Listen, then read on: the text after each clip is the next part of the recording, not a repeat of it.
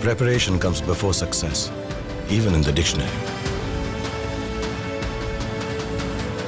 Denver, the scent of my success.